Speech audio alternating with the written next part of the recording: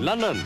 The Commonwealth Office, scene of crucial talks between Dr. Borg Olivier, Maltese Prime Minister, and Acting Commonwealth Secretary Patrick Gordon Walker. The reason?